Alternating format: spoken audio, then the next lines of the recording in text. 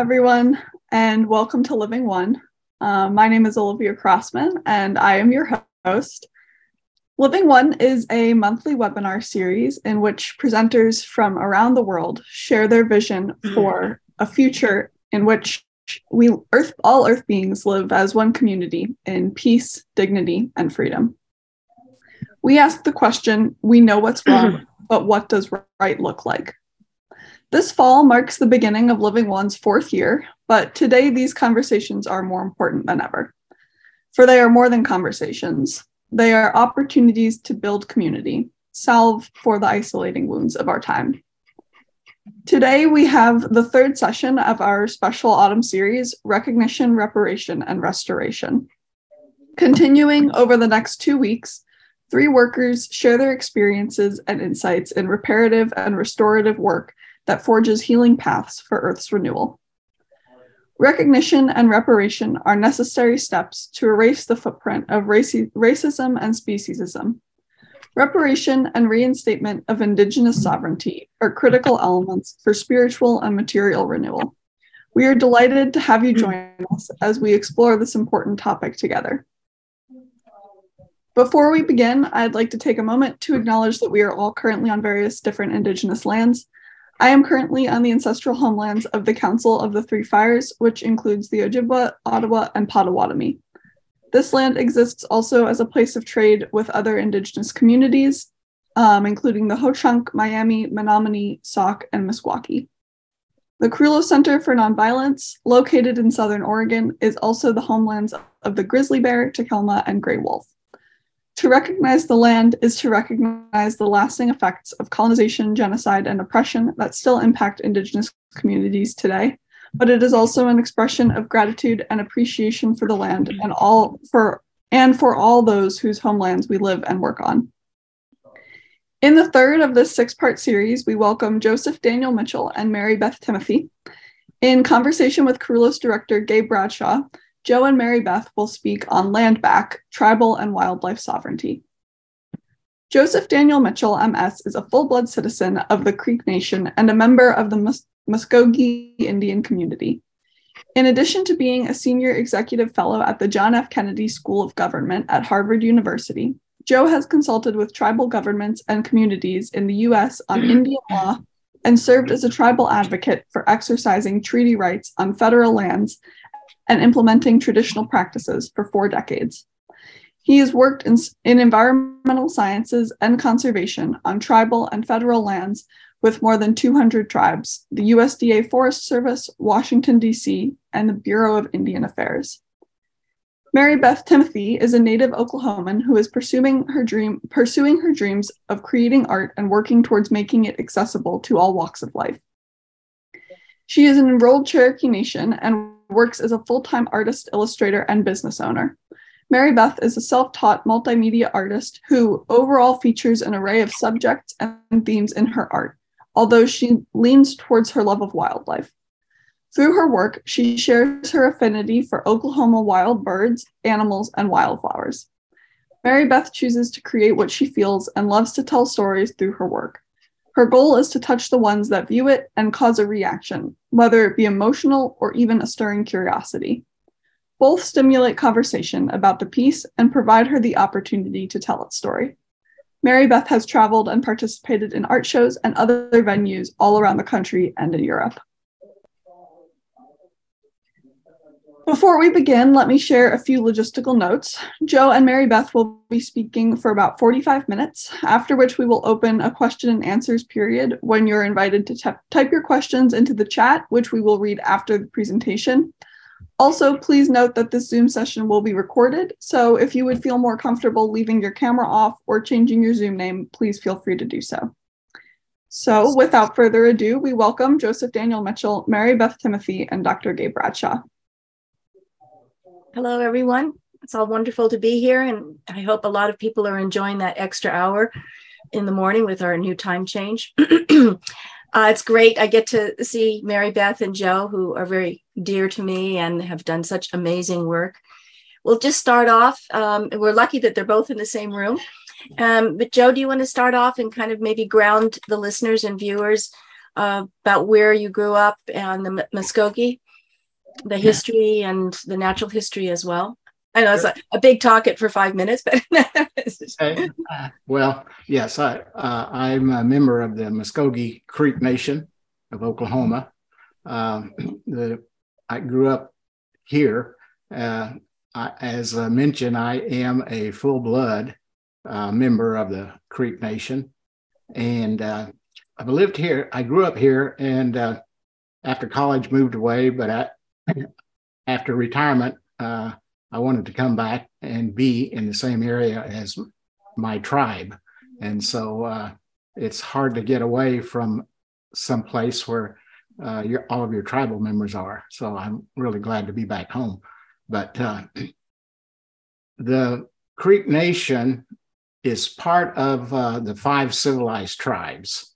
And the five civilized tribes are made up of the Muskogee Creek, the Cherokees, the Chickasaws, the Choctaws, and the Seminoles.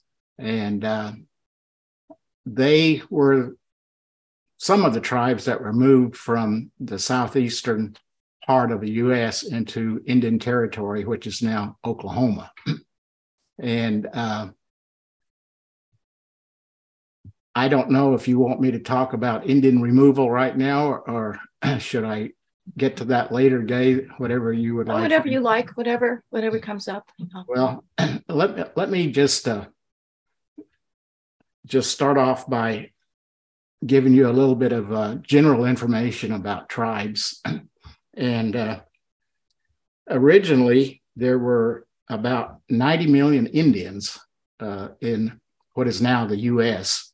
Uh, um, and uh, these 90 million Indians spoke probably 300 different tribal languages.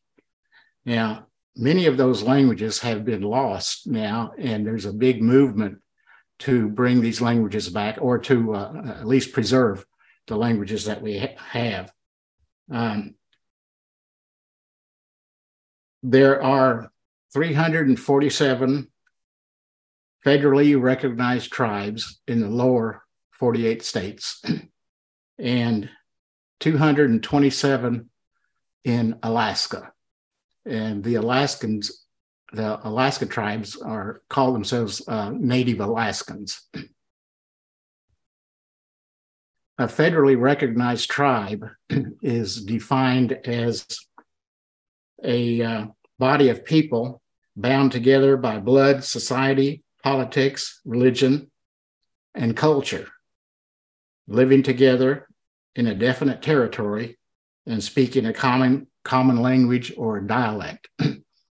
now, federally, rec- federally recognized tribes are those that are supported in some way by the federal government. And they, we have a number of, of tribes that uh, have not met this criteria. And so they are not federally recognized. And what that means is um, if they're not federally recognized, then they do not receive support from the federal government. Uh, most of these tribes have treaties with the uh, with the federal government, U.S. government, and uh, they can be verified by their by this def- particular definition.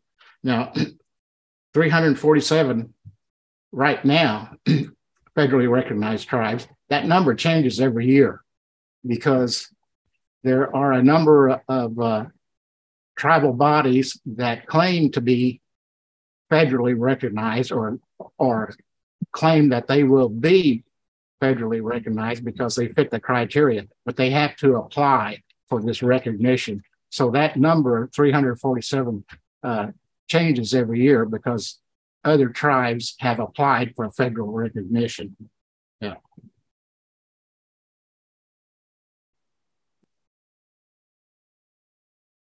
I'm not really sure uh, the title of this presentation is Recognition, Reparation, and Restoration. And that uh, applies to the land that uh, the tribes owned before colonization. And uh, I think Gay wanted me to talk a little bit about uh, about this land issue and what is essentially happening today with Indian tribes and their efforts to recover some of this land. Mm-hmm.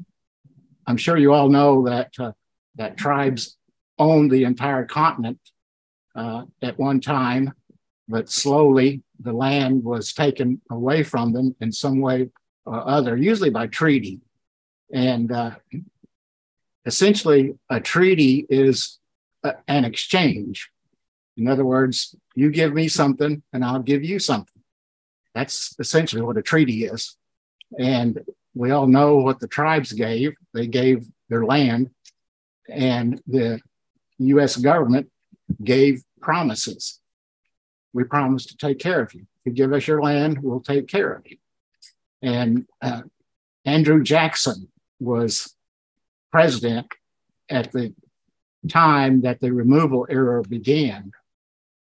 Uh, he was pretty much responsible for removing all uh, many of the tribes from the southeast and the northeast part of the country into what is now Oklahoma, which was then called Indian Territory. So uh, let me give you a, a, few dates. Andrew Jackson was uh, president from 1829 to 1837. I'm not a historian, but uh, 1829 to 1937. Uh, I'm not a historian, but uh, this is what I've gotten from from the textbooks. The uh, removal period lasted about 10 years from 1830 to 1840. And that all came about because of a uh, of an act, a bill that was passed that gave Andrew Jackson the authority to begin negotiations with tribes. And the negotiations essentially were negotiations to trade land. Andrew Jackson wanted the land in the southeastern US, and uh, in return, he would exchange those lands in Indian Territory for the southeastern portion of the United States. But the Indian Removal Act essentially gave just gave him the ability to negotiate. It didn't give him any other authority, just, but just to negotiate treaties. During that period, that 10 year period, approximately several, 70 treaties were signed between the US government and tribal nations, all exchanging lands with, uh, with the US.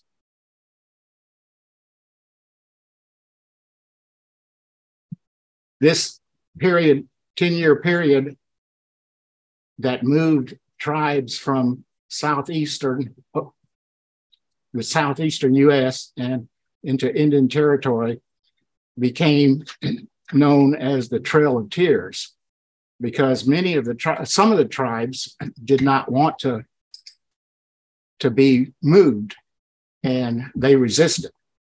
So the government forcibly removed them. And the trail that they traveled became known as the trail of tears. It's pretty much recognized as being the cherokee trail of tears but it's not the only tribe that traveled that trail.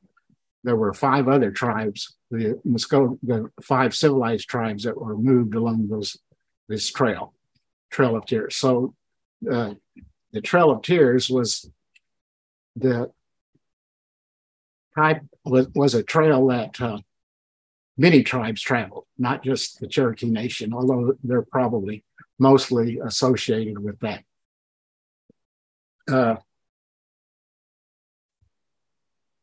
is there anything, Gay, is there anything more that you would like for me to say about that? I, I know that we talked about a, a list of things that you might might want me to recover uh, to cover. Uh, I think you know. I think what you, you mentioned the the land back and maybe maybe um, segue into that. I wanted to just make a quick comment just on something earlier. You know, when you were talking about all the languages, um, you know, for example, here, the, something that really strikes me is that just this is so we were in the Applegate Valley in, in Southern Oregon, and uh, a lot of this history is being pieced together.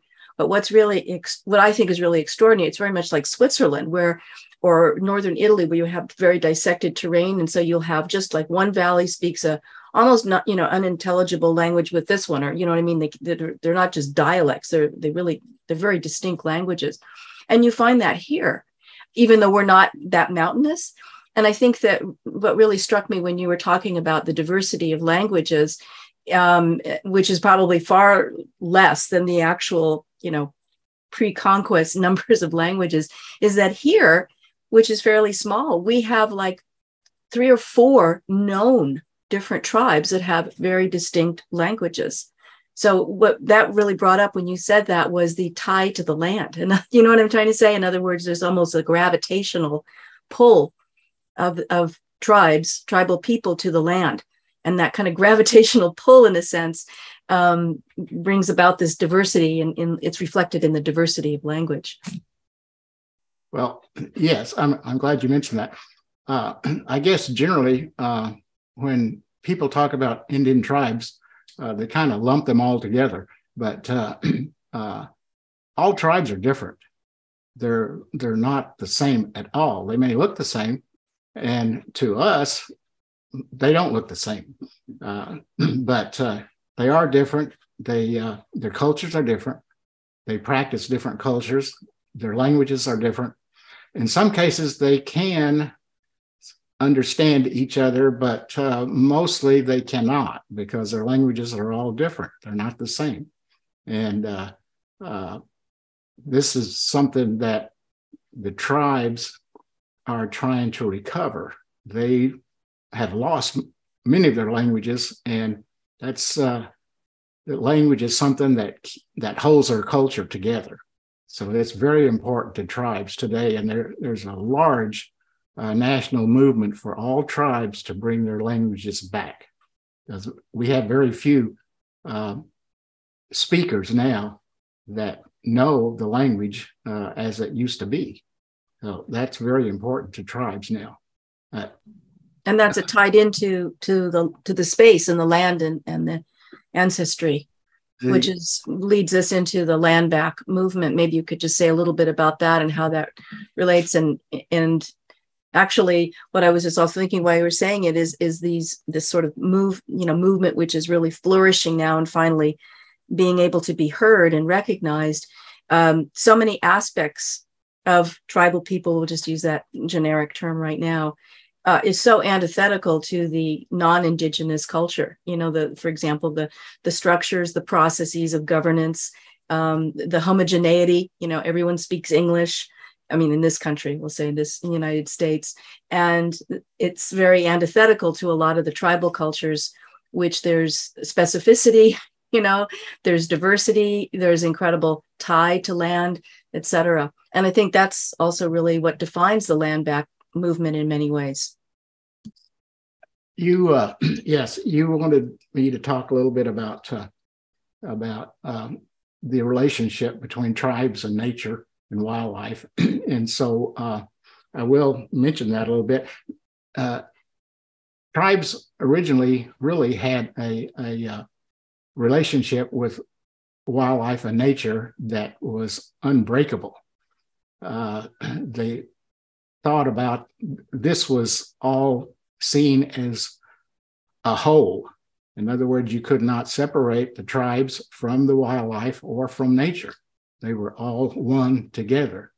Now, one of the uh, one of the uh, goals of the U.S. government when they began removing tribes uh, onto reservations was to break this particular connection, and uh, they tried very hard to break the culture of Indian tribes. As a matter of fact, there was a saying during that period of time that we want to try and kill the Indian, but save the man.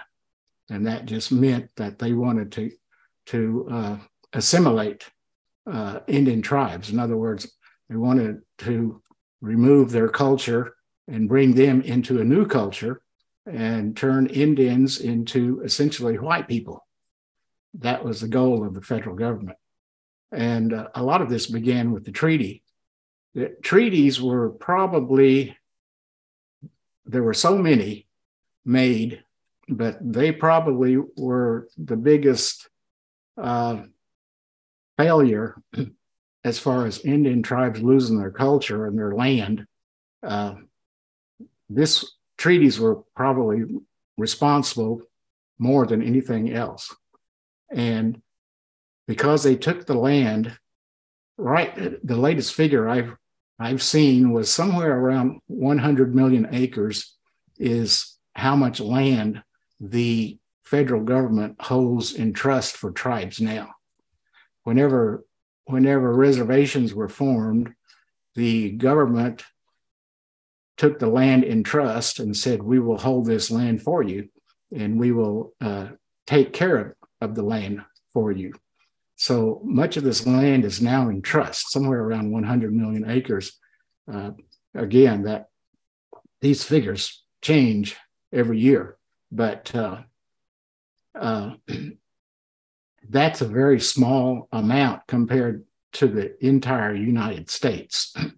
and so that gives you some idea of how much land was taken from the tribes. Uh, the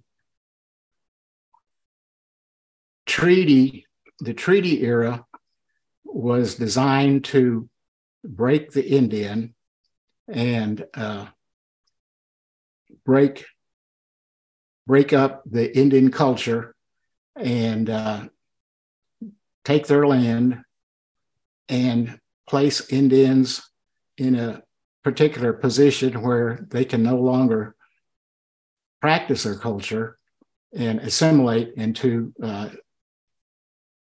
U, uh, U.S. culture, I guess.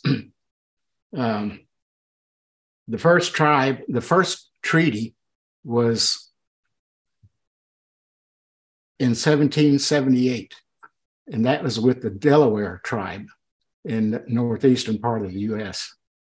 And that treaty was essentially a treaty to ensure that the Delaware tribe would become one of the allies of the 13 states. This was during the Revolutionary War. And uh, the, uh, the US wanted tribes on their side. They wanted to make the tribes an ally. So that was the first treaty. that was the purpose of the first treaty. Um, slowly, that purpose changed to the removal period, where it was a, treaty for land. And uh, that era probably destroyed, did more damage to destroy the culture of Indians than anything else. Um, today, there is a movement to buy back land from from anyone, anyone that they can, in order to uh, to try and recover much of the land that was taken from them. Uh, the treaties were broken often because of gold. Gold was discovered in certain areas, and the next thing you knew, these treaties were broken by the by the U.S. government. Uh, they would give give the tribe land, and then they would take it back and give it to them and take it back. And most of the times when they took the land back, it was taken back illegally. They never were compensated for this. And most recently, a uh, person sued the federal government for an accounting of all the land that they that the U.S. government holds in trust. In other words, the uh, the government holds 100 million acres of land in trust for tribes and tribal members. They also control the resources and the mineral rights that uh, these lands hold. The government was supposed to handle all of the finances that the tribes received from leasing these mineral rights or grazing rights, land rights, and the government would accept the uh, the receipts from those leases, and then they would distribute them to the tribes. Well, about 25 years ago, 20 or 25 years ago, someone said, we need an accounting from the government of all of these land leases. And so they sued the government and won. And the result of this lawsuit was that the government had to compensate for much of the uh, of the finances that the tribes or tribal members never received from the government because of mismanagement. And this led to what is now known as a buyback program.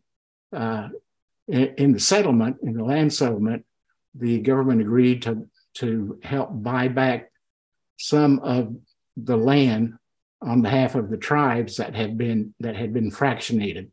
In other words, uh, the, if a if an Indian person owned 160 acres of land, this was held in trust for the government, and that person had heirs, and that land was divided many times up amongst those heirs, and before you knew it, that 160 acres became one tenth or one one hundredth or one one thousandth. And that 160 acres was now divided amongst a thousand people. And so the government initiated a buyback program for those that wanted to sell that their fraction of that land in order to try and uh, reconsolidate that that property. But uh, this was a uh, the buyback program was something started by the federal government as a result of that lawsuit. But tribes themselves now have started their own buyback program, and they are attempting to buy back as much land as they can whenever it becomes available, whether it's private land or any other type of land. They want to grow their land base again like they used to have. So that particular buyback program essentially was uh, an idea that began whenever tribes began to acquire money. And that was all acquired by casinos. When casino, the casino period began, tribes began to have money. Now they have lots of money. And so they have the ability to buy back a lot of this land, and that's what they are attempting to do. So I think that's what I think that's what you wanted me to to explain, Gay. Yeah, that it's, it's terrific background on that. And I was I was thinking that really that that wildlife uh, revitalization, conservation, that we would call it, or sovereignty, is inextricably linked with that of of tribal people. That's right. I mean, it, because it, it, you know, to put it this way, in other words, that the wild, like for example, that many of the, I think Muskogee, you have Bear, the Bear Clan, and Yes. Your clan. So a lot of the, I, I don't know, identity and meaning is tied up with with the wildlife, with particular wildlife. So, for example, like bear, I wasn't sure if it was grizzly. Or, there was a, I was listening to um, an old talk of Vine Deloria's Vines, um, and he, you know, he's a historian, or he was a historian, and you know, he had he goes through all of the all the documents, and there was all these uh, descriptions of in the plains of grizzly bears, like some explorers seeing 200 bears, big bears, you know. And, you know, and he was saying, well, it's no surprise if you look at the names, they're all they're standing bear, you know, the little bear, big bear. And so, anyway, that's a language thing again. So, really, your the land back is really rooted or it's synonymous with wildlife land back in a sense. That's right and with uh, with the acquisition of more land, then the tribes are also uh, they have a large movement now to uh, restore the buffalo uh, herds of buffalo that were also lost. Now, many tribes have uh, herds of buffalo uh, with the land that they are are buying back, they're also restoring buffalo herds, and also restoring corridors for wildlife to travel from one area to another or one state to another. Many of the tribes now have begun uh, corridor programs for wildlife, state to state, from Colorado to, uh, let's say, uh, Utah, where animals used to migrate across these areas. Now tribes are trying to bring that back again with their corridor progression or pro program rather. Uh, migratory routes for wildlife are also being established. And this is all, this is all, it's not the, all the result of, uh, of casino money, but it certainly helps to have, uh, to have incomes where before leverage, uh, yeah. before they, they had uh, uh, no way of uh, acquiring any finances. There was just no industry on reservations. Well, so uh, everything everything that uh, has occurred with tribes is related to land. Mm-hmm. Do you think that the, the, the, climate change is, I mean, obviously that's, you know, you and I always talk about the weather and everything. I mean, it's obviously very core and it's having a big impact um, on the animals and people and humans. But do you think in some ways that there's a side of it that because it's um, really forcing dramatic adaptation and change um, in the quote unquote white culture. Do you think, in some ways, though, that that is also kind of helping the shift into uh, tribal lands and tribal cultures? I think so. yeah, uh, yes, I think so. I think global global warming uh, is really is having a, a, definite effect on this, and uh, uh, you just cannot uh, you cannot operate the way you used to because the climate has changed. And so uh, this, yes, this definitely has a big effect on that. So there is a kind of a silver lining, although it is, it, you know, it is affecting so many people and, and animals. It's still there's kind of a, it's I think it's creating an opening. That's what it feels like to me. That there's sort of an opening and a a pause for disabling and disconnecting from this um, very destructive culture that we've been sort of held hostage to. Yeah, I yes, I think so too. I agree with you. Yeah. Is there anything else that you? I, I don't want to take up uh, Mary Beth's time, so. Well, well, I, I, know you're going to have questions, and I won't. I won't monopolize you, but um, thank you, and there'll be more conversation afterward. Mary Beth, would you like to step in and push Joe over. I was I was enjoying listening to. I know. Well, don't stop. Joe doesn't stop talking. this is more of a conversation. Right right? Um, so now I don't know how to follow that. Well, I'm an artist, my head's full of pretty colors, but I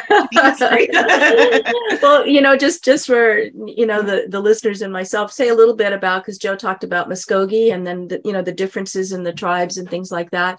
Can you say a little bit about your Cherokee, you know, background and experience and and culture?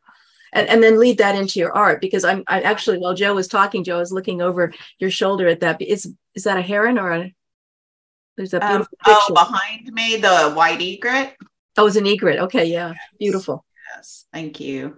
And then of course you see this wolf with the glasses. I I'm doing um, a project right now for Indian Health Services in Oklahoma City. They're um, putting different images in different parts of their um, medical offices and so I have some that are going into the optometry office. So that's what that's for. So everybody. That's terrific. Joe and I were talking about that new hospital, wasn't it, Joe? You were saying there was a new Cherokee oh, hospital. Oh, that's yeah, that's in Tahlequah, and it's beautiful, and it and it's actually full of um, beautiful Cherokee art as well. So yes, we're right. We're neighbors. Um, right now, we're in or on the Muskogee Reservation, um, where our house is and we're right pretty close to the line with Cherokee Nation. So my husband John is Muskogee Creek, like Joe, and I am Cherokee. Um, my family is or was from North Carolina, came over. Um, most of mine came over before the Trail of Tears. Um, I had a great, great one of my greats grandfathers was a lawyer that helped set up the Qualla boundary in North Carolina. Um, a lot of people call it the Cherokee Reservation in Cherokee, but it's actually a boundary that is set up there. And anyway, so they came over and their land allotments were all in northeastern Oklahoma. Um, around Oologah and Pryor, um, Spavinaw, places like that. So, um, yeah, my family has pretty much all stayed in that area, except my mom was in the army and then got married um, to my step. She got married early and had me, got divorced, married a Yankee man from upstate New York. And so we've moved around quite a bit and I actually didn't come back to this area until I got a divorce from my first husband. So I was not raised around my culture. Um, there was a lot of feeling disconnected and feeling like I didn't fit in and there was something missing. Um, I don't really know how to describe that feeling until one, I became an artist, and two, came back to Indian country and started connecting with other Native artists and Native peoples. And then it was like, oh, okay, here, here it is. This is what I was looking for. This is what was missing. And now I I'm here. Here it is. So um, so yeah, I another thing i grew up being known as like a tomboy i guess. I wasn't a girly girl. Always had to be outside in the dirt and digging around making mud pies climbing trees looking at bugs collecting bugs and frogs and driving my parents crazy. And they got me and rocks always rocks. And my parents got me a microscope when i was about seven or eight. And so everything I was having to look, I wanted to be an archaeologist when I was little, and that's something not very many people know. but you know, so there was that that connection to the land with me, always having to be outside, always. And I still love that. And every chance I get, I'm outside digging around in the dirt. Well, you're kind of an archaeologist, like you said, with the layers that you've, you know, from your own your own childhood and coming back and right Right. A psychological archaeologist, maybe. yeah, yeah. And, but just connecting, um, like I said, whenever I came back here and started connecting with family again and meeting so many other natives and you know and a lot and i'm not full blood of course um my birth father i don't know they're from tennessee so um, I did find a first cousin that you know they they aren't sure. They have a really dark side of the family that is some kind of native but they don't know what it was. Um, one of those type things. Um, but my mom's side is cherokee and um, english.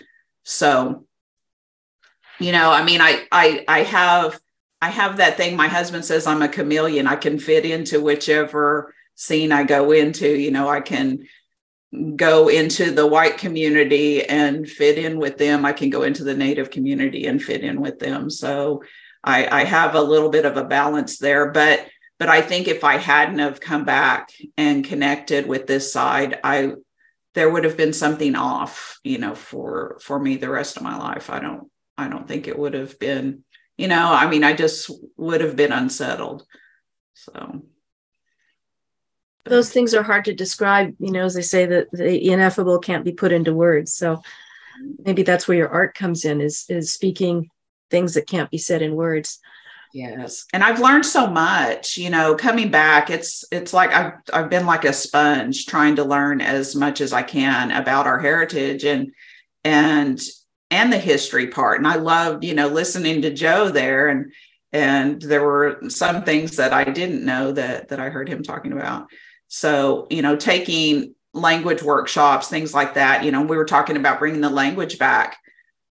I know, and I've seen with my husband talking about the Creek Nation having their language classes as well, but I know Cherokee Nation has a lot of, especially within our 14 counties that are in the Cherokee Nation now, Cherokee Reservation, um, that they have lots of language classes in each community. They are also, um, they have been working on a huge language center, I guess, that's in Tahlequah, which is where Cherokee Nation is. And that is going to be a, a huge, huge thing for Cherokee Nation. Um, they've got a lot of their their fluent speakers that are involved. And we've got immersion classes where the children go in and all they hear all day long is cherokee. And i just think that is so great. But you know it's like what i told them though you know that's fine. But then when they go home they need to have that at home too. So and and they're realizing that and they're you know they're trying to to pull that all together. And i think that that having that center is going to be a a big, big help in that. You think there's been a change, or Joe, maybe you can also say too that um, has there been a shift that you think within the communities of people now wanting, you know, to, to, to have their children learn the language and things like that, as opposed to hiding it, you know? I mean, I guess there was, I mean, I know that was the case is, you know, there was such a history of being punished for using language. And so there at least, you know, Joe, you probably remember, you know, this the, that that atmosphere and that actual reality of not being able to honor the culture, participate, and speak. So there really seems to be something fundamental shift now. And it wasn't just the it wasn't just being punished for saying it like in the schools either. I I've talked to different people that said when they were growing up that their parents or grandparents wouldn't let them speak their language I mean, they would hear the adults in the other room speaking the language, but they didn't want them to know because they didn't want them to have to deal with that prejudice in school or out in public. So I think that's so sad. I hate that. And that, yes, that's that's that's really true. But Mary Beth is is, is saying. Uh, in my case, my parents spoke Creek, the Creek language fluently, but they would not teach it to myself and my brothers because they wanted us to learn English. And so uh, I grew up knowing certain things of the language, but uh, uh, not being able to speak it fluently like they did. So it was because they wanted us to learn English because they knew that we were, in order to get by in this world, we needed to, to learn. English and get an education. So, but now, uh, what you're saying, Gay, is that uh, as far as bringing the language back, uh, it's no longer shameful for anyone to speak their Indian language. As a matter of fact, there is a college uh, in Tahlequah, not far from here, that uh, where the Cherokee Nation is located. There is a state college, and they teach the Cherokee language at that college. Now you can actually go there and take classes and uh, learn Cherokee. They teach it at OU too. OU, Oklahoma University. That's right. Mm-hmm. Many of the colleges now are beginning to teach the Indian language. Mm-hmm. Do you feel that this is kind of a personal question, Joe? But um, do you feel like that barrier, in other words, that you weren't allowed to to learn Muskogee Creek, um, do you feel like that kind of was somehow disconnected you in a in a way from your parents and grandparents? I think it did. I think it did. I uh, I regret now that uh, I wasn't able to learn that language, but uh, uh we have classes now.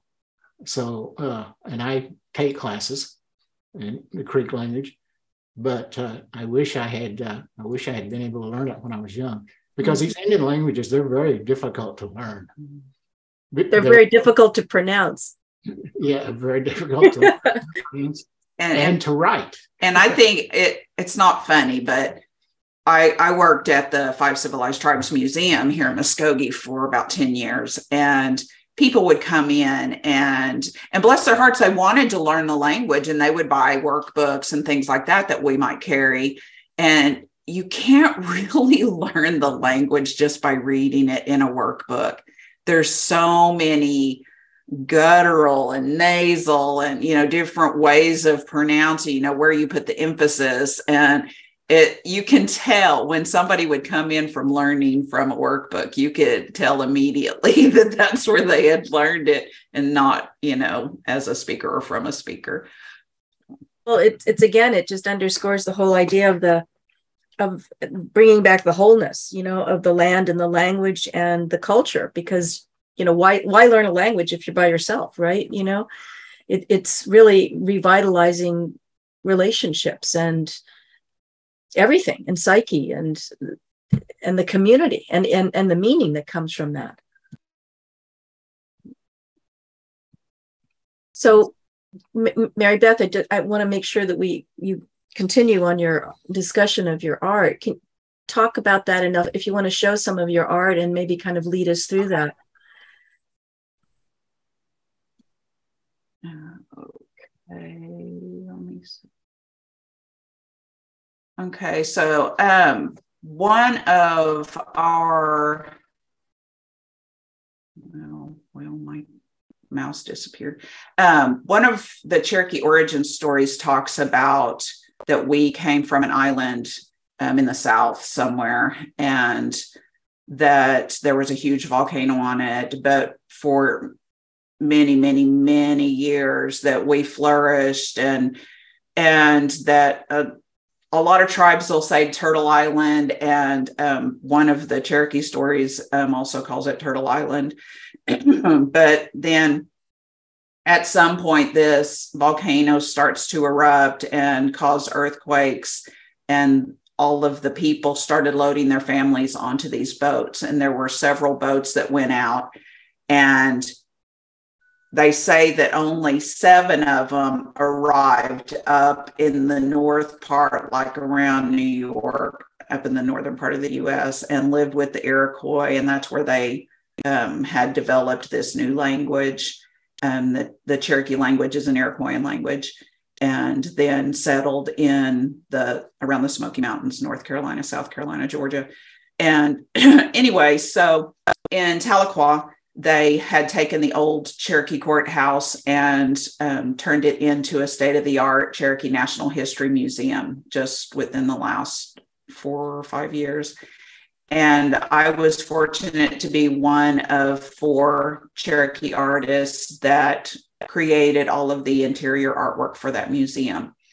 And so, one of the things that I wanted to put into this painting was you know, just different symbolic things about our lives back there or our ancestors' lives, right? And so we've got the island in the center, and I know you probably can't see it, um, but there's little huts in the trees, and there's a little lake. And then we've got the volcano, of course, and the sea turtle. We also have different elements of things that either we have stories about or that are sacred to us or important to us in some kind of way. So I've included a crawdad in there. Um, to the left, we've got corn, and you can't see it really, but there's a little honeybee. We've got a dragonfly and the white water bird, white egret, um, some quahog shell, which they use to make wampum um, the conch shell, and then to the right, you've got the tobacco plant. You've got grandmother spider there, um, a hummingbird, a monarch, butterfly or willela, and the eagle.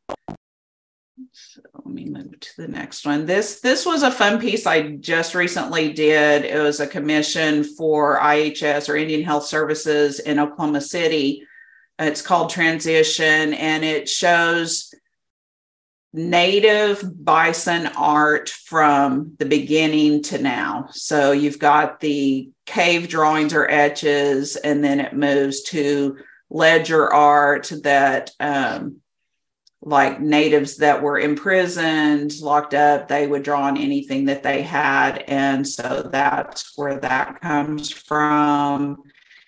And we've got the flat style or Bacone style art, and then um, contemporary abstract, and then more of the realism. So that was a fun one. Mary this Beth, is, can you, uh, can you say, excuse me, can you can you say a little bit more about ledger art?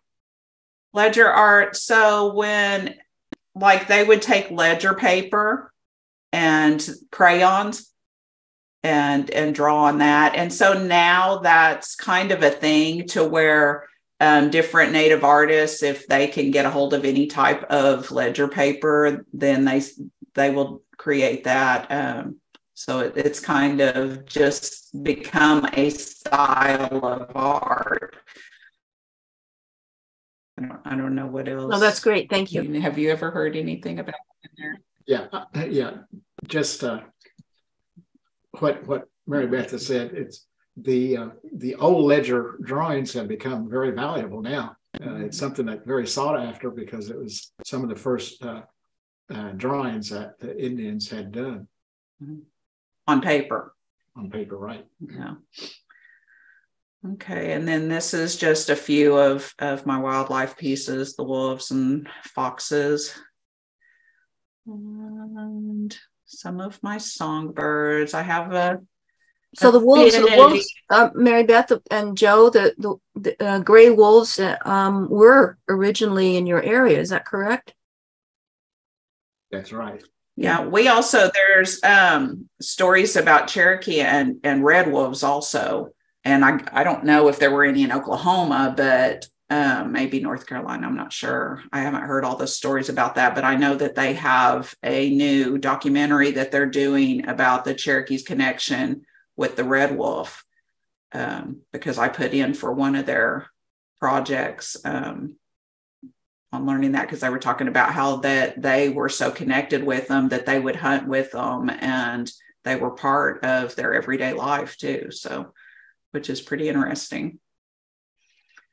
So, um, but these are some of the songbirds. I love, love, love birds, as you can tell. And then a few of my water birds and birds of prey. And then also the wildflowers. I did a little um, series of Oklahoma native wildflowers. I'm sure I'll do a lot more this was just a few I did um, the last couple of years. And this is my most recent project. Um, I worked on it for two years with um, Cherokee author Chris Teuton. And this is a book that will be coming out in January called Cherokee Earth Dwellers I have 66 illustrations in that book. It's going to be a big book. But what he did, we had um, one of our Cherokee national treasures and beloved elders, Hastings Shade, had written books, had done so much with the language and um, just so many traditional things. And he had gathered up information um, since the early 70s until he passed away. And his widow, Loretta, and his son, Larry, decided they wanted it put into a book. And so they connected with Chris. And then um, there were actually supposed to be three Cherokee artists that were working on it together when this first started a couple of years ago. And before we even signed contracts, one of the um, illustrators had to drop out because of work and you know different deadlines and things. And the other artist had so many he works with the language department and he also takes care of his parents and his dad passed away. And so he had to drop out. And so it ended up instead of doing like 15 illustrations. Like I said, I ended up having to do 66, which Amazing. it was very um well, it was very stressful at the time, having deadlines and but you know what what was really stressful but yet I'm grateful for was that I had to research so much in this project um, a lot of the botanicals that because the book is it's got Cherokee folklore, Cherokee history, Cherokee language, um, the importance of different um, wildlife, insects, plants, trees, native foods. You know, I mean, it's got everything in it. It's just cram packed full of information. So anything to do with the botanicals and the trees, things like that, I had to do major research because they wanted it like like you'll see on the bloodroot, the flower with the root system. They wanted it like that with the root system up to the top. And if it had anything else special, then they wanted it added on there, just like the tree up at the top. You'll see the the branch. That's our Osage orange or or Bodark. Um, so I had to research and find these things and common names. I couldn't use common names because, you know, you might call or several people might call um, 10 different plants the same name, you know. So I would have to go by the scientific name and do so much research to find how to do all of those. So that's why it took so long. But but these are just some different examples of illustrations that that are in that book. And like i said it's coming out in january. They just opened up the pre-orders for it. And so i'm super super excited about this. That's fantastic. What is the on the on my left it's that circle like a it's like a sundial. What, what's that? Yeah it's it's a chart that just shows the connection between the directions the the seasons the different animals and the clans um, those are the different, the seven clans of the Cherokee that you'll see there um, with the animals and the plants. So, well, this would be a fantastic, you know, book for yeah everyone. Yes, because it pulls everything together. I looked it up on the pre-order and I saw it said $34 and I was like, oh, that's expensive to me. And then um, somebody said, no, that's the paperback. And I looked at it and the hardback is $99. So it's a big book. It's yeah, a- it has a lot of illustrations and wow, it must be amazing. Yeah, a lot of information in it. What a lovely thing for his family as well yeah. And unfortunately and i i met hastings um quite a while back before he passed away and got to listen to him telling stories. And then and i never thought i'd be connected to him forever through this. But when we started with this we were supposed to have some online meetings with loretta his widow. And then right before um we were supposed to start our meeting. She got sick and was never able to. And then she passed away. And so I have met his son, Larry. We had a meeting. Chris flew in. Chris, the author, actually lives in Seattle and he flew in and we all had a meeting together and it, it was really great. So I'm I'm just really humbled and thrilled to be part of that project. Is Chris a Cherokee? Yes. Okay. Yeah. Well, it's it's it's just phenomenal. It must be a incredible. You should feel very proud about it. It's really beautiful. really, and and it, you know, getting back to our you know kind of a theme is that really this is a this is a a move of restoration. You know, bringing all these different animals to attention and and showing the richness of the mm-hmm. of the Cherokee land. Yep. Yes, ma'am. And now you need to do a Muskogee one, right, Joe? well, I, I, don't know about that. I, I, will buy this book when it comes out. I, I, think you just upped your sales, uh, Mary Beth. I'll buy the hard copy. Oh, there you go. Last but not least, right? Last but not least, do you want me to read this out loud? So, um, this piece, this is the sculpture that um, has has long been long long awaited still awaited um that hopefully someday will come to fruition and will become 3D instead of 2D on here. But this is something that Gay and I have discussed and planned for several years now. Um, a piece that will tie together the tribes and the loggerhead turtle. So I'll just read this out loud. This piece ties together the journey of the loggerhead and the five civilized tribes, centered by the pole covered with ancient tribal symbols that were found in and around the burial mounds in the southeast part of the US, such as Moundville, Alabama, Chota, Georgia, Spiro, Oklahoma. The symbols vary from fertility to sun circles to death motifs, all different components of life centering this sculpture. The helix, which also symbolizes DNA, intertwines both the turtle and human tracks, recreating their long journeys. On one side of each helix is the turtle tracks, and on the other side are the footprints of the men, women, and children of the five tribes during the Trail of Tears. The helix blooms at the top into human hands embracing the turtle, showing strength, survival, endurance, and grace of these fine creatures and our wonderful tribal nations. Hmm. Thank you so much. Um, you know, I don't, the listeners here, I don't think are, are, familiar with our sacred bones. Joe, do you want to say a little bit about sacred bones? Because that's really what brought, um, well, how I met Mary Beth was through you and our project. Well, yeah, Sacred Bones was essentially that was one of the first uh, projects that uh, you and I put together, wasn't it, Gay? Whenever you first yeah, it was, it was started Kerulos. Mm-hmm. So it's been quite a while. Uh, Gay and I used to work together uh, in the U.S. Forest Service, so that's how we met many years ago.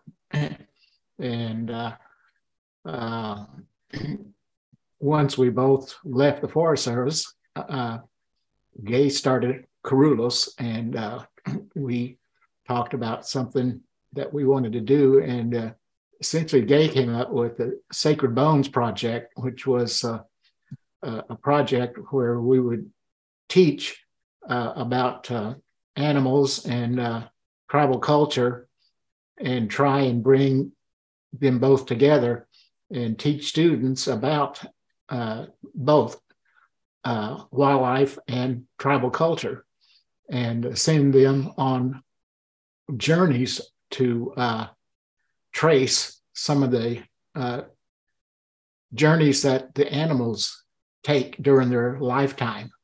And uh, sea turtle was uh, one of those that we selected. Unfortunately, I, I don't know, Gay, if if uh, the uh, the program is still in existence or not. Are we still doing that, or yeah we're just kind of reviving it what what um, joe and i worked together and we really really made a big effort like how do we how do we how do we make this integration how do we make the dialogue really happening between you know the wildlife and tribal people and and the white communities and um, really bring a kind of a, a, catalyst for for integration and so we we decided to talk about the sea turtles Mary Beth, you can keep that up. It's so beautiful. Oh. it's just so beautiful. Makes me so. Uh, there's a video that, uh, by the way, on our on our website, which we'll post, which describes the project, and it's a beautiful video that um, Mary Beth describes her sea turtle sculpture. So Joe and I came up with this idea of sea turtles because they're global. Um, there's seven species that are identified, and each one would be identified with a particular tribal community. So there would be seven pieces of art that would be commissioned. And the first one was with um, Ian George, who is a Maori uh, artist in New Zealand. And he crafted one out of a beautiful stone, which now stands in front of the Ministry of Education uh, in, in New Zealand. Unfortunately, um, Ian passed, but it's an incredible one. And this here with Mary Beth was the idea that this sea turtle, the loggerhead, is associated with the Cherokee and Muskogee, the five quote unquote five civilized tribes. And we we had where we kind of ran aground was we were trying to connect this originally with um, scientific communities, and so we were tried to work with a couple of sea turtle uh, centers, conservation centers, and, and that proved rather difficult. But the idea was is to have these art as really focus of you know sort of foci where you know the, the tribes and the education program would be developed and our sacred bones workbook that we created and we're retooling that right now is that um, you know a family or an individual or a class would and in fact actually this did occur in wisconsin with the wolves. Um, but basically the idea would be that the people would learn about um, in this case here the you know the five civilized tribes cherokee muskogee etc and um, then they would literally and you know you know virtually if that was not possible in this particular case retrace the trail of tears. So starting you know starting at its termination as such and then going back to the origin. And the idea was is that we actually have from the us fish and wildlife from the washington d.c office we have um, pieces it's very unfortunate of sea turtles that were taken in an undercover sting and so this is very much in parallel, like the repatriation, the rematriation of um, of, of, tribal. Um, you know cultural items and uh, you know bodies that were taken to museums so it's this whole notion of a restoration i think we called it um, very much like the this recognition reparation and restoration and so the idea of going following kind of doing the reverse on the trail of tears was a sense of you know undoing and coming back into a restorative climate a restorative culture. So this is uh, going to be bronze right? And so we are going to be seeking funding to have that and that will be then um, um, installed uh, someplace uh, you know i don't know if it'll be where it would be exactly. We originally were going to be doing that at these one of these sea turtle centers but that proved to be quite difficult politically. We ran into some uh, dead ends is a nice word for it. But perhaps this might be um, uh, located somewhere on the on the uh, Muskogee and Cherokee lands. But it's very very powerful. And Mary Beth, I have to say, I mean, your your design is just so amazing. It's so parallel. The the, the cultures of the sea turtles, the origin story, and the DNA. Um, it's really it really is quite stupendous. So actually that's seed. So yes, Joe, it, it's kind of a second life where, and I, I think it's a better, you know, right now, I think that there's more receptivity in terms of this type of project and the philosophy that it embraces. Did you, either one of you wanted to say anything more about that or? No, I just like like I was talking to you before you were apologizing to me for it taking so long and I feel like when it's if and when it's meant to happen, that's when it'll happen for the place that it's supposed to happen. Yeah. But it's it's to me it like it's just sort of um wonderful. you know, I feel like it's sort of like maybe that's the right timing and it's opening up to that. And of course the sea turtle story um just just like the Cherokee Muskogee uh, the way you described it, Mary Beth, you know, this notion of resilience, the, the, the sense of coming home, the stories of sea turtles i mean it's so moving. I mean they they migrate thousands of miles and they've done that for thousands and thousands and thousands of years very much you know like the tribes. One of the things that occurred to me i was i was reading this morning and you know we, we get fooled by time in this culture. So really you know when you're looking at the sea turtles and you're looking at the tribes i mean they they base we're this colonized culture is just really a blip you know we tend to be sort of absorbed in it but it really is a blip in the timeline of, of life on this planet. So thank you so much. Thank you so much. Well why don't i'll turn this over to olivia and then we can have our listeners uh, ask questions or make comments. Okay. yeah if anybody thank you so much joe and mary beth. That's um, was such an incredible conversation and presentation, and the art is so beautiful. Um, and if anyone now has questions uh, for either Joe or Mary Beth, please go ahead and type them in the chat. Um, or you're also welcome to use the raise hand option um, if you'd like to speak your question as well. Um, but I will monitor the chat. Um, monitor the chat now if anyone has any questions. Yeah, Karen, it looks like your hand is raised. Do you want to um, unmute and go ahead and ask your question? Uh, sure.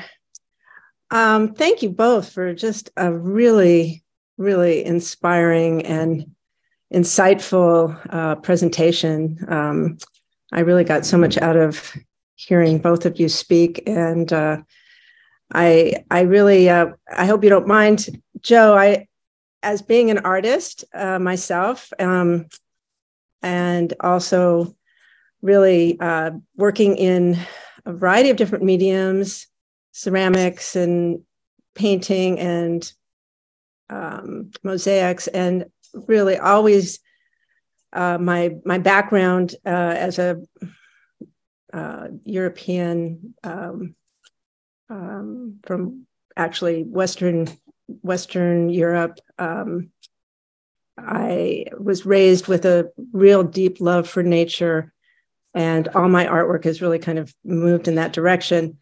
And I really wanted to ask um, Mary Beth, in terms of, you know, just a, from my curiosity from being an artist throughout my life and um, and working in in communities now um, that are unhoused and who've dealt with a lot of trauma and um, and um, marginalization and oppression, racism, all the systemic issues that we know of, including you know that that you talked about. Um, my art has really come a lot from the inside uh, and and has like really been a very healing process over time it's it's been really so important for me to like heal various traumas in in my ancestral lineage um, and now working with other communities. I'm just curious if any of that ties into your work or if you could speak at all about what your experience of developing yourself as an artist. I was very inspired by what you said about um, being self-taught and just like what was it like you know moving through that process i love your work it's so evocative and and um, you know so much from your inside i feel and so I just would love if you could speak a little bit from what that's like. Um, what what's that? What that process or journey has been like for you, if you don't mind.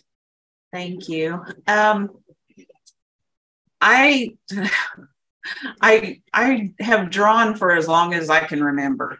I've always had that creativity in me, you know, always doing something. And that was part of that missing component, I guess, whenever I said that I, you know, didn't feel like I fit in or something.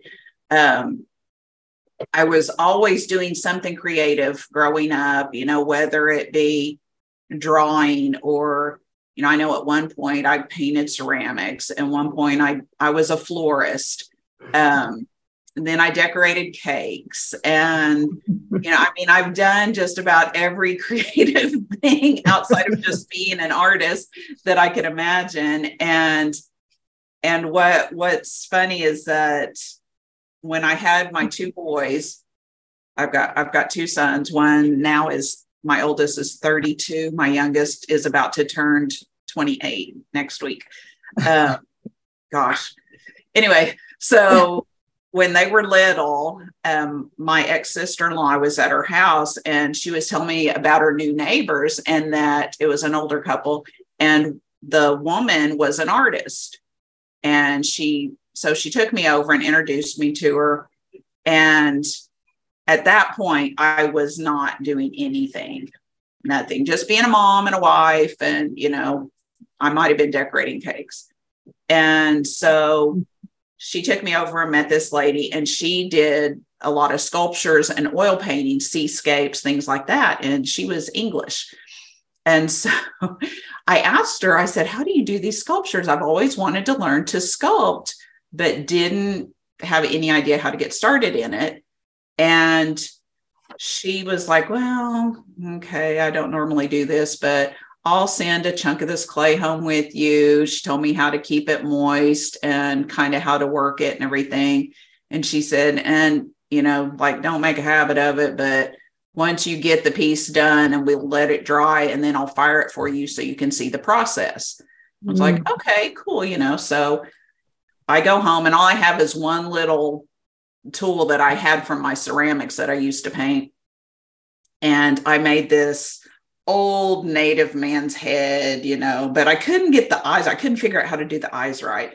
So I got her phone number and I called her and I said, Is there any way that you could help me figure out how, you know, to do the eyes? And she's like, well, I guess, you know, you can bring it over and, and I'll look at it. And I was like, man, I'm just bugging her. I just felt, oh. So I took it over there. My hair used to be really long had it in a braid, like come down on the side. And she is this little woman. So I go and I knock on her door and, and I'm holding it, you know, in front of me. And she opens the door and she looks at it and she looks at me and she looks at it. She grabbed my ponytail and she said, This is your calling. Do you understand it? This is what you're supposed to be doing. And I was like, okay, what? You know, and she said, let me have that. She said, I'm going to take it and I'm going to fire it. And, and she takes it and sets it down. She disappears. She comes back dragging this big bucket of clay. And she said, I want you to take this home with you and you can work at it and sculpt and you can bring it here and I'll fire it until you can get your own kiln. And I was like, I didn't even know what a kiln was. You know, I, it was just all really fast and crazy at the beginning. But she ended up becoming my mentor. And she was also a very um i don't know the right word spiritual type person. And she helped me really open up my mind to doing a lot of meditating and you know connecting with with my thoughts and my dreams and things like that. And so she she kind of was the one that that pulled all of that out of me. And she was i always say she was my kick in the rear end um, that i needed to to start taking this seriously and taking myself seriously and you know i came from um, a marriage of being put down a lot and um, i was always you know jumping from one thing to another because it wasn't good enough or you know and so i just had such low self-esteem and just felt like i couldn't do anything right. And she changed that for me. She changed my attitude. She changed my perception every day. It was what are you working on today? Let me see it you know and or come over and we'll do this and just it it just changed my life. And from that time forward was was when i started sculpting which i haven't sculpted in a little while. I've been focusing more on painting and illustrating. But but she's the one that that got me into that. And got me rolling with it. And then her daughter um, is a portrait artist out of Santa Fe. And she was coming to visit one day and she said, um, I want you to come over and show her, you know, some of your drawings. And I was like, no, I'm, you know, I was so intimidated. And so I brought them over to her and she said, These are a good start. And I was like, no, they're finished. And she's like, no, no, no. She said, look, she said, because they were just flat, you know, and they weren't paintings, they were just drawings. And she said, see, you just have to add a little bit of depth here, a little bit of shading here, this here, this here. And it's like a light bulb went off in my head. And it went from seeing like looking at a tree and seeing a brown trunk and green leaves to seeing you know grays and and tans and you know all these different colors in the bark and then yellows and and greens different tones of greens and even you know burgundies things like that in the leaves.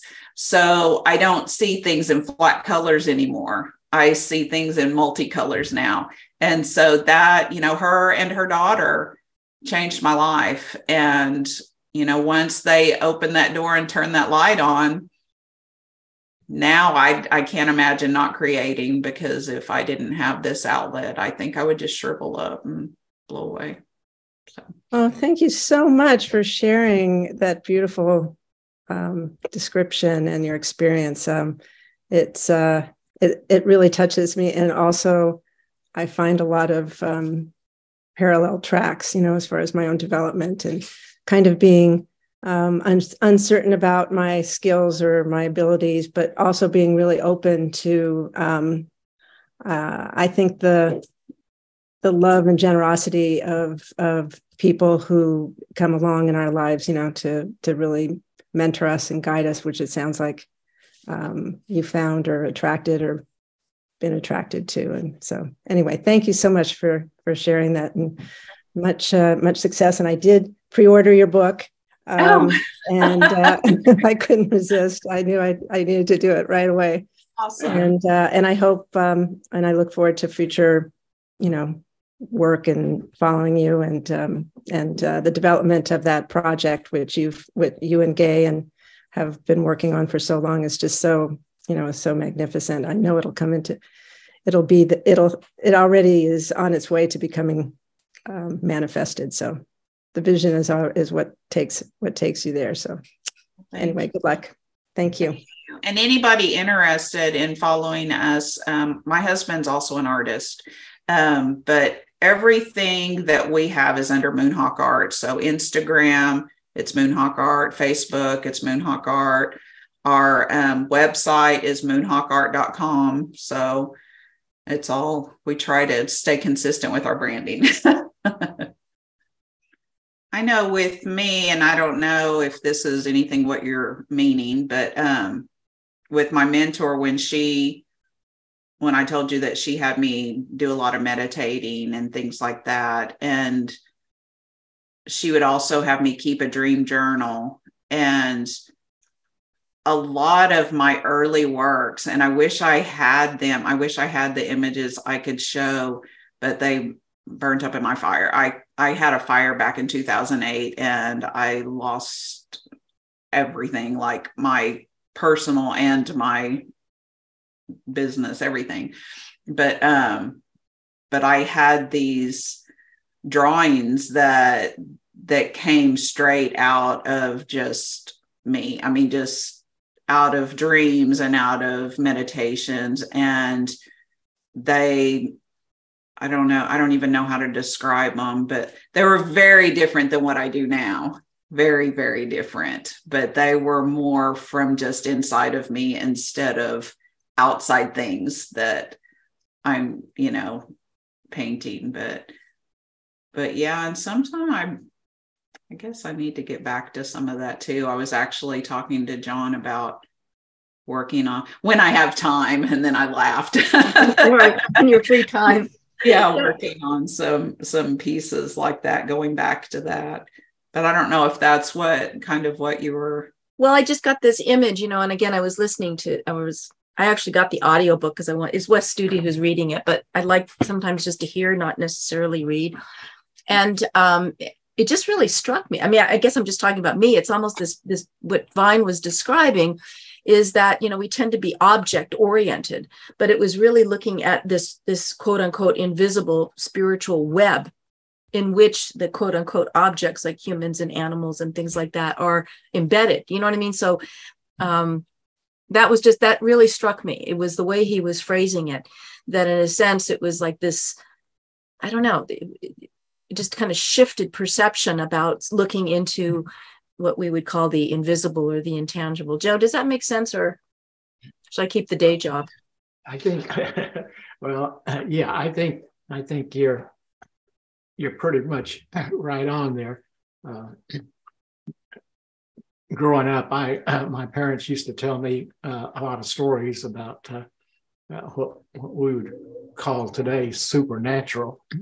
But you know, back then, it wasn't supernatural to them. It was it was normal. And it was about uh, the entire uh, wildlife kingdom and humans and how they both were were uh, so connected that you just couldn't uh, separate the two.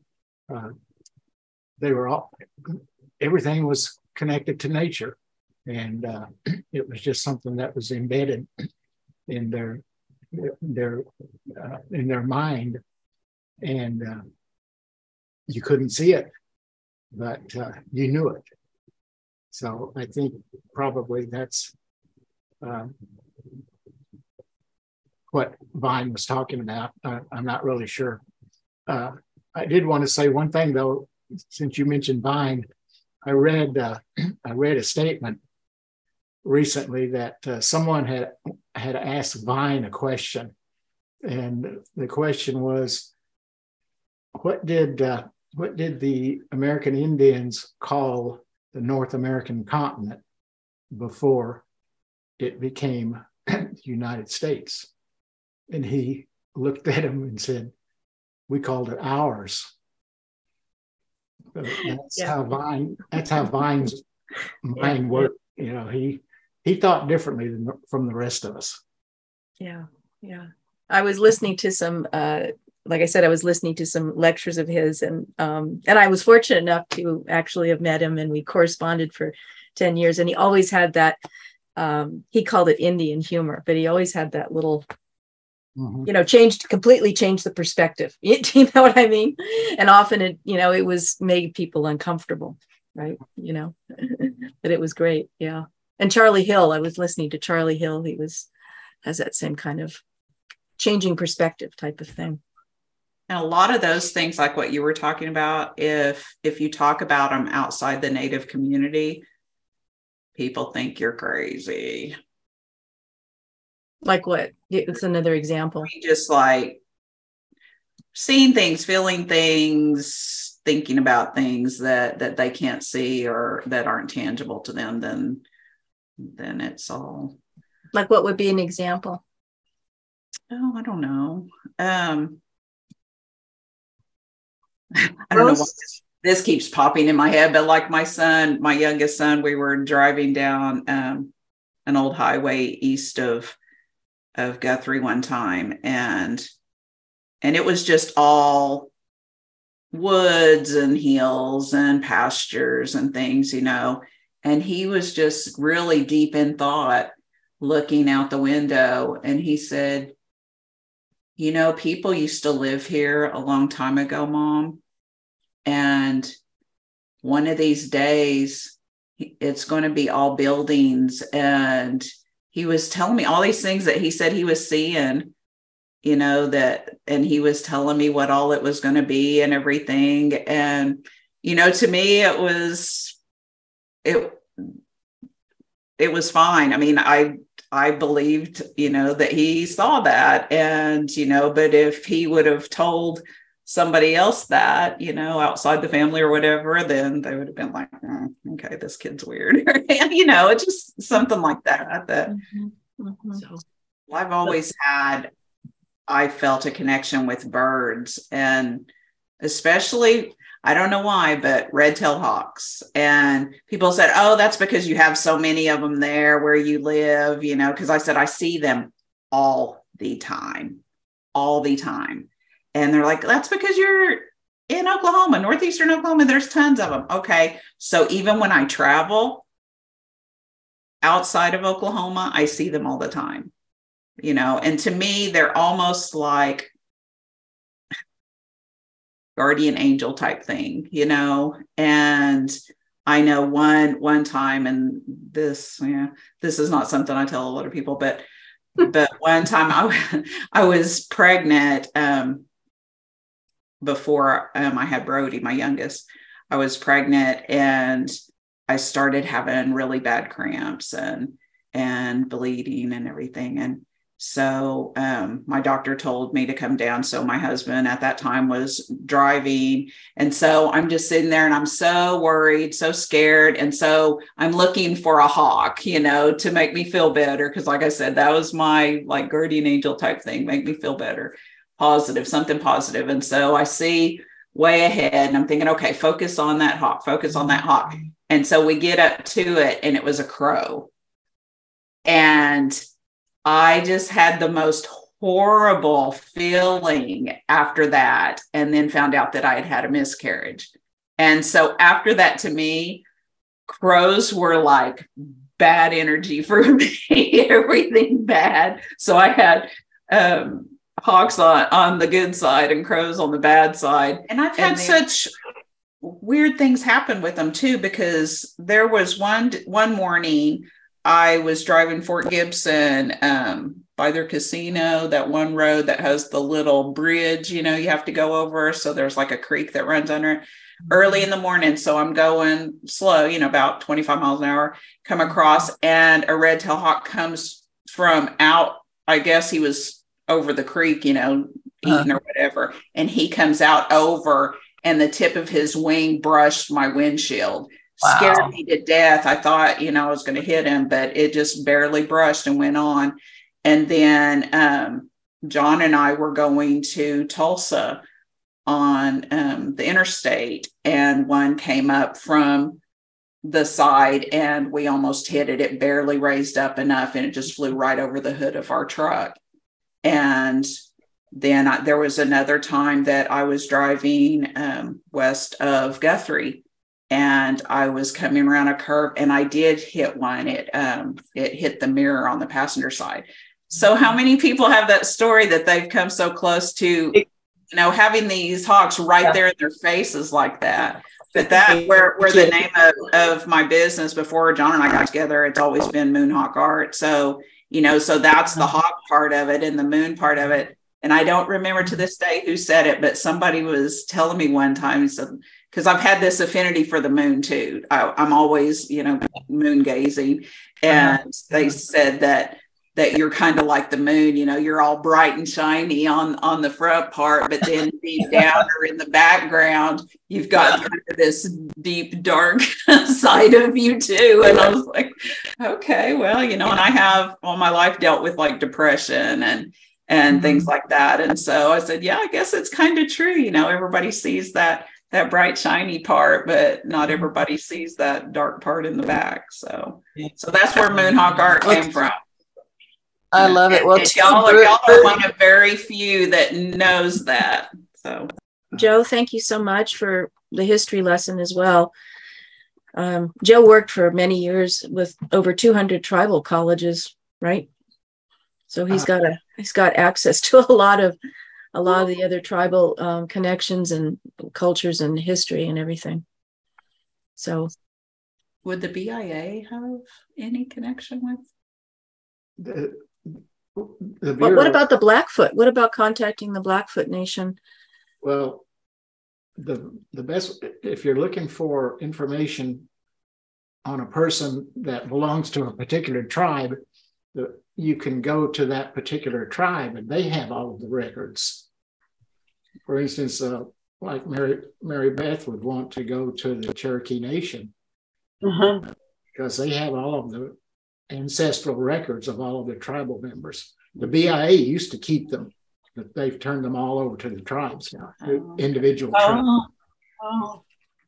So if I wanted, if I wanted to uh, trace my ancestors, I would go to the Muskogee Creek Nation. They have all of those records. How would they do it? Would they need DNA or something? Uh, they do it. They do it by bloodline. Uh, so blood by blood, right? You're, but by family, not by DNA. Right, by family. DNA is she, not going she's adopted. She doesn't. She was adopted by some Caucasian couple. She doesn't know that. And she won't know. I've yeah, I've run into many cases like that where people uh, are adopted, and uh, it's almost impossible to trace trace them mm. unless they can go through the adoption agency and get somehow get the oh. record opened. Oh, yeah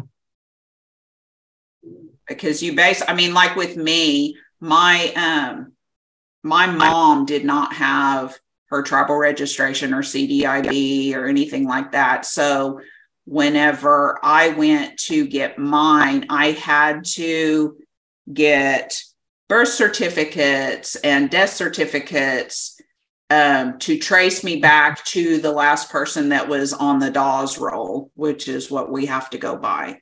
And mm-hmm. so it's really hard for some people because so far back, some don't have mm-hmm. death certificates or birth certificates. Yeah. So it's really difficult for some, but fortunately for Cherokee, they kept such great records, you know, census and everything, and they probably did with Muskogee Creek as well. Um, that it's it's pretty impossible to if you are Cherokee, it's it it's impossible for or not i should say i should go the opposite it's easy to find out um, there's a lot of people and i don't know why they've picked cherokee but there's a lot of people that claim that they're cherokee but their mm-hmm. family just didn't sign on the roll which it doesn't matter if their father didn't sign or their mother didn't sign but if they had a direct family member that did sign, then it can be traced mm. somehow. So if you are Cherokee, really truly Cherokee, they can figure it out somehow. but there's so many people that just they've been told that by family members but it's not necessarily true right it's more word of mouth yeah because uh, and like people say my grandmother was a cherokee princess or something there was no such thing as a cherokee princess so it's just family stories a lot of times and it's it's sad for people that have grown up hearing things like that and then it's not true and they'll fight you to the death about it too. But that's what their grandma said so it had to be true. So, yeah princess cherokee princess didn't come out until i think the strawberry the the um, strawberry festival started and they started doing them. we had we had our wonderful grandma Aggie here. She was from the Siletz River tribe in northern Oregon, mm-hmm. and uh, she for years talk, talked about the water, and um, I'm so glad I got to see her and hug her before she passed. She was everybody absolutely loved and worshipped her. Mm-hmm. And there's a beautiful statue in North Ashland in honor of her called the Warrior. Oh, that's cool. Yeah, it's about 30 feet high, 25. Wow. It was wood carved. It's a, called the Warrior, the Warrior. It was wood carved, and another artist here did about 25 bronze castings and copied the wooden statue. The wooden carving is now in the library at Southern Oregon University, and the bronze statue is out there in the weather. Wow. So there's there's two two honoring Agnes Pilgrim Baker. She had, I think, five kids, and she was a lumber truck driver. She was tough. We had wow. big salmon, big salmon uh, festivals at the Rogue River, and she'd run. She'd be driven around in a golf cart with a bullhorn, ordering everybody around. She was incredible. well, our sea turtle statue is going to be 35 feet, right, Mary Beth? Wow. It'll be as big as you want it. Where will it be? Where will it be? I don't know. We'll have to figure that out. Well, Mary Beth and Joe and I will get together. Maybe you guys have some ideas on that, but um, we'll. we'll the last place that we talked about sounded good, wasn't it? In Florida. Of course, it might. That's where, that's where the that's where the difficulties came in. Is at the time yeah. um, there the the cities that they were going the city councils that were associated were uh, reticent to to agree to that. So uh, we can talk about that but i know i should let you guys go uh, because it's been such a long day for you. It's late. You haven't had lunch no. Well, I wanted to say I I love, you know, I know everybody that's been in this today are animal enthusiasts, animal lovers, and I've loved seeing Nina's snuggly dog. And I haven't seen Ruth's cat, just its tail. And it's so funny. You just see that tail going across the screen. His name is Grayson. I love it. Does Smokey show up on the screen? yeah, he's he was. He's, a, he's half Alaskan Husky. Oh, that's cool. He's like a small husky. He's my grandson's dog. He comes oh, to visit okay. for weeks at a time. I had to lock my two in the house. They'd be going in and out of here and barking and carrying on. So. I've got two little terriers. They're they're terrierists. well, thank you so much, and uh, really appreciate you both and everyone who attended. That was great we'll be um, making this the it'll be processed the living the the interview and then um, put it on our website and then I'll send you both the YouTubes. Um, we'll make a YouTube so you can share that. Awesome. So thank you. Can you send the YouTube to any of, uh, of us? Yeah. Also? Yeah. I'd like to send it to my sister who did all the ink drawings. I, was, I sent you a bunch of her ink drawings. I know she'd love to see Mary Beth's artwork. Awesome. Yeah, we will definitely make it available to everyone after um, after it's ready and let you all know let you all know when it's up. Thank you. So, thank you so much, Mary Beth and Joe, for joining us. It was so amazing to have you both on and such a fabulous conversation. Every I learned, I know I learned so much, and it's been so insightful and impactful. Um, so thank you very much. Um, and next week we will have uh, Gay herself in conversation with Hadassah de Jack Reynolds, who is the co-founder and executive director of the Tikkun Olam Farm Sanctuary. Um, Oh, and yeah, like I said, in about a week, um, so November 13th at 10 a.m. Pacific time, um, and they'll be discussing sanctuary, the seeds of animal reparation, and sovereignty. Um, but yeah, Mary Beth, Joe, thank you so much, and thank you to our audience and Gabe for all of the questions. Um, we look forward to seeing you guys next week, and thank you so much for spending your Sunday afternoon with us.